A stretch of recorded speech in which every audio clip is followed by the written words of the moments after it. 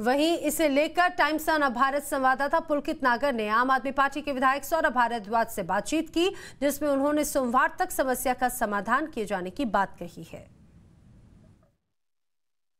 की दिक्कत शुरू हो गई है।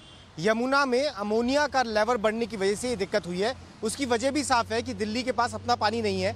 हरियाणा और यूपी से दिल्ली पानी लेती है और उसके बाद में अगर उसमें ये दिक्कतें आती हैं तो उसके समाधान के लिए कोशिशें दिल्ली सरकार की तरफ़ से की जा रही हैं। क्या क्या कोशिशें हो रही हैं? सौरभ भारद्वाज जी से समझ लेते हैं। सर क्या क्या कोशिश आपकी तरफ़ से की जा रही है और ये दिक्कत कितनी बड़ी है? देखिए, दिवाली के आसपास एक तो एनुअल मेंटेनेंस का काम जो हम करते हैं, उसके लिए एक शटडाउन लिया जाता है। मगर इस बार दिक्कत ये हुई कि एक तो हमने गंगा वाटर के फिल्ट्रेशन के लिए एक शटडाउन लिया हुआ है। और क्योंकि यमुना हरियाणा से आती है कभी कभी ऐसा होता है कि हरियाणा की तरफ़ से पोल्यूटेंट जो है वो ज़्यादा मात्रा में यमुना के अंदर डंप किया जाता है। या तो वो सीवेज वेस्ट होता है या वो इंडस्ट्रियल वेस्ट होता है। तो अभी जो अमोनिया की मात्रा है अमोनिया हमेशा होता है पाना में। मगर अगर वो मात्रा एक लेवल से ऊपर हो जाती है तो उसको क्लीन करना जो है ज़्यादा लंबा प्रोसेस हो जाता है। जिसकी वजह से हमारी ईस्ट दिल्ली के अंदर साउथ दिल्ली के अंदर पानी की सप्लाई जो है इफेक्टेड है। आज सात तारीख है। सुबह जो है बहुत सारे इलाकों में पानी नहीं आया। छः तारीख को शाम को भी बहुत सारे इलाकों के अंदर पानी जो है वो कम रहा।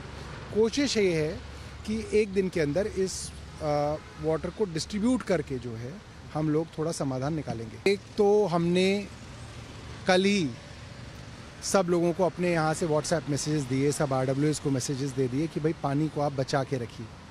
किफ़ायत से इस्तेमाल कीजिए ताकि जो है पानी को आप इस्तेमाल कर सकें। दूसरा वाटर टैंकर्स जो हैं जहाँ बहुत ज़्यादा दिक्कत है वहाँ वाटर टैंकर से भी आप पानी मंगा सकते हैं। मगर क्योंकि सोर्स से पानी नहीं आ रहा तो इसके अंदर भी आप बहुत ज़्यादा मदद जो है वो नहीं कर सकते क्योंकि वाटर टैंकर से भी पानी आप तभी देंगे जब आपके पास सोर्स से पानी आएगा। हाँ मगर इमरजेंसी यूज़ के लिए आप कहीं कहीं पानी भेज सकते हैं।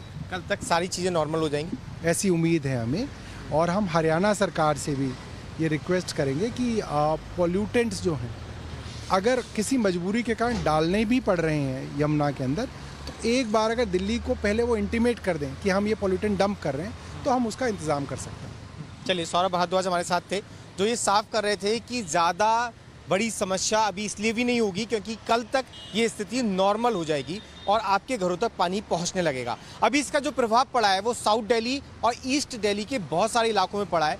कल शाम से लेकर आज सुबह तक कई इलाकों में पानी नहीं पहुँचा। इसीलिए टैंकर के ज़रिए उन इलाकों में पीने का पानी पहुँचाने की कोशिश की जा रही है दिल्ली जल बोर्ड द्वारा, लेकिन समस्या अभी कल तक रहने वाली है, कल तक स्थिति नॉर्मल होने की उम्मीद दिल्ली जल बोर्ड की तरफ़ से और दिल्ली सरकार की तरफ़ से जताई जा रही है। वीडियो जर्नलिस्ट सुजीत के साथ पुलकित नागर, टाइम्स नाउ न भारत।